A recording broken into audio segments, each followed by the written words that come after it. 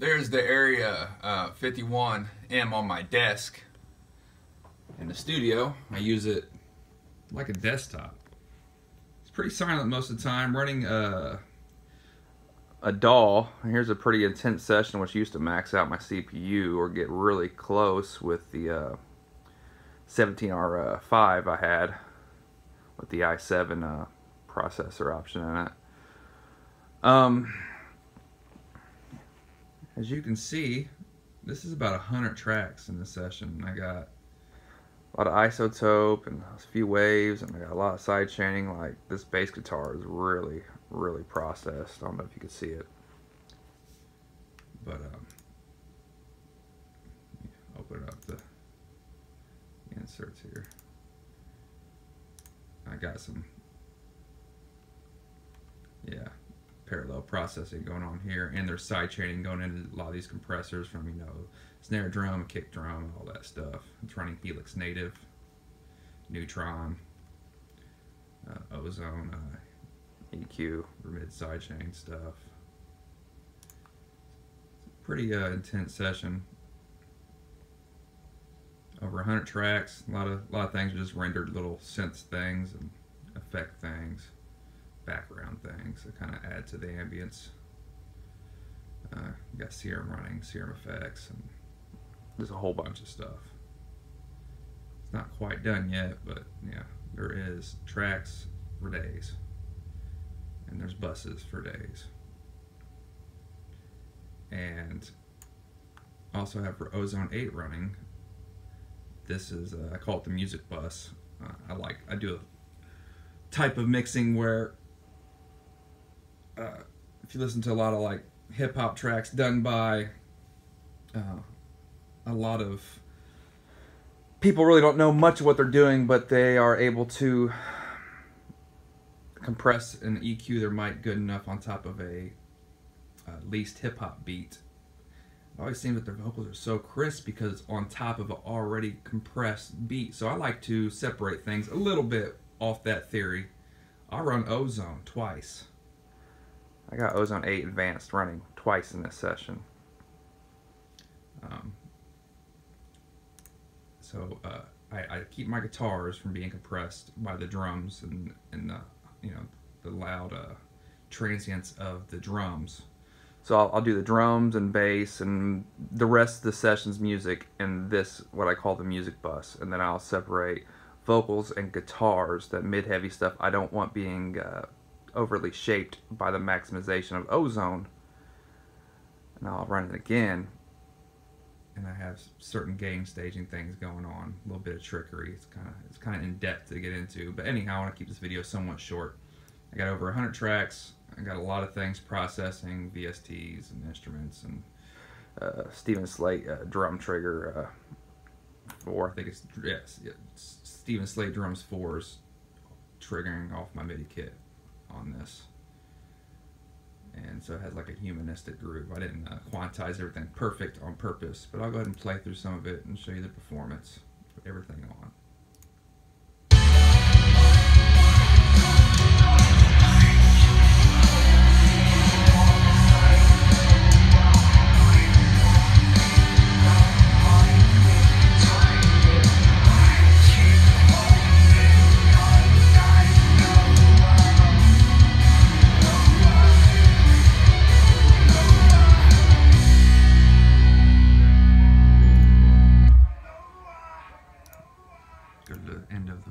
Verse.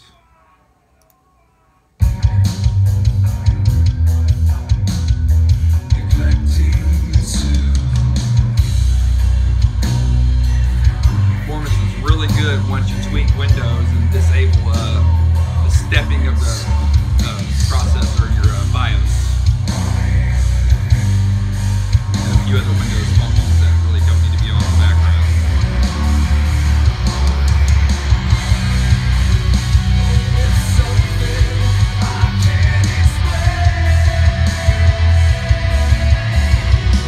initially there was some hiccups, but once I changed a few settings, no hiccups. Extremely stable. All that processing and not even half the CPU, no spikes. About half.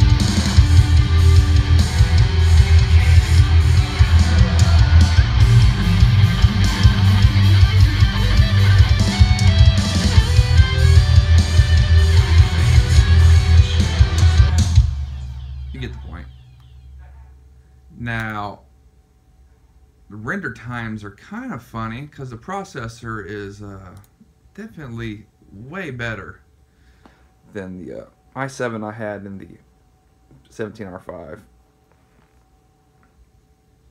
Um, it was an unclock, overclockable processor, six core, only one core boost. Uh, I'll just render it down to wave real quick.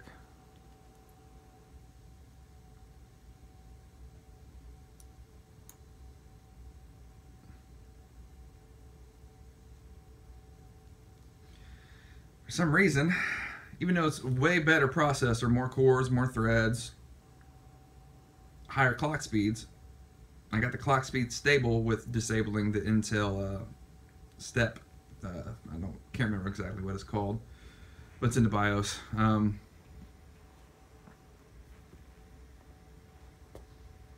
only about 1.5 times faster than real time on average. And with the other laptop, which which had issues with uh, underruns with Ozone enabled how I use it because I double up on Ozone um, with my method.